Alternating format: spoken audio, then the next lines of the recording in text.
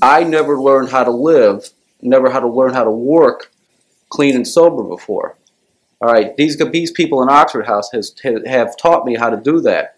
Have given me a chance when I make a mistake.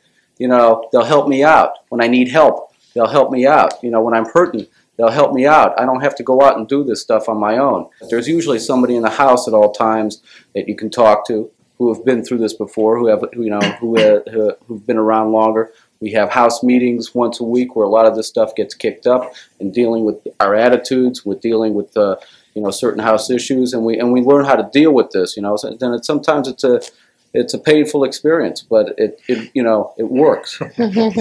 most most people that end up in an Oxford house have hit some type of bottom in life, whether it be a physical, a spiritual, or an emotional bottom. They've hit some type of a bottom all of us that live in Oxford houses or that do well are people that have accepted the fact that we have a disease. We suffer from a disease, the disease of alcoholism and addiction. What Oxford houses do, you know, after a person has accepted that and they come in, they're looking for uh, a better way of living. The Oxford House concept is added support. Uh, coming out of a, a, treatment facility, a lot of people may end up in a halfway house for a period of time and uh, maybe uh, they get a job because in an Oxford House, one thing that we have all lost is that self-sufficiency. And Oxford House helps us to regain that. I'm talking about working uh, a, a, job, uh, being able to pay bills because the Oxford houses are autonomous. Each one runs independently. The members run the house. We pay the bills.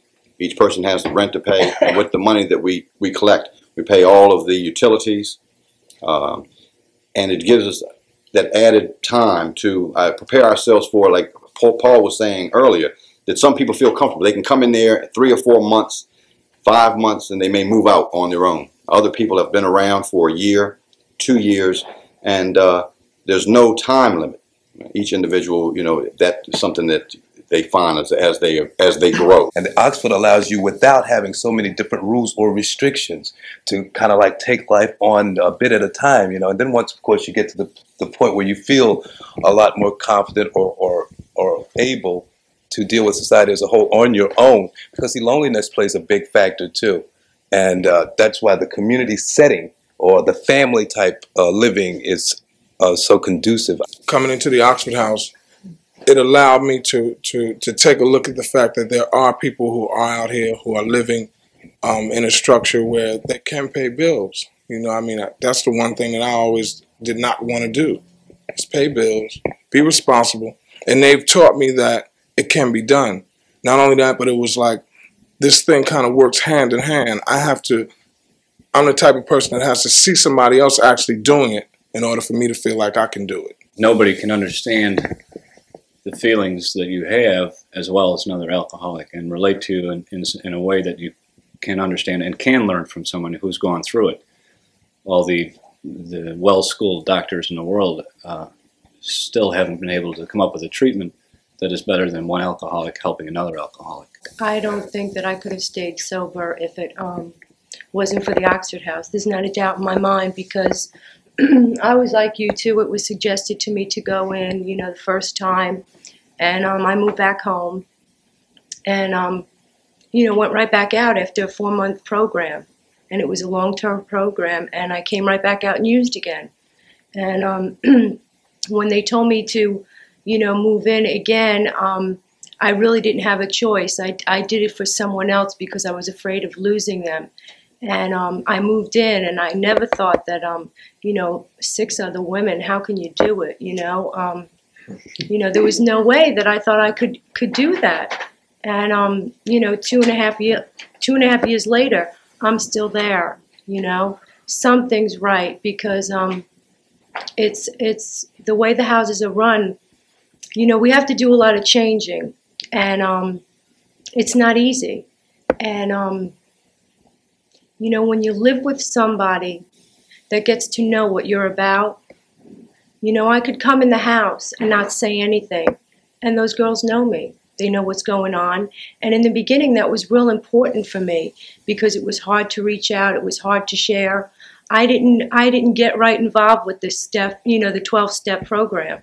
Um, I I had a lot of fear. I was I wanted to run again, and these people really helped me a lot. And I know that I wouldn't have been, you know, I would not be sober today if it wasn't for the house. See, I think one thing that we all have in common, I think we'll all agree on, is that as practicing addicts and alcoholics, we were very selfish people. We came first, whatever we wanted to do, rules didn't apply to us, we were going to do things our way. And I think most people here will, will agree, our way did not work.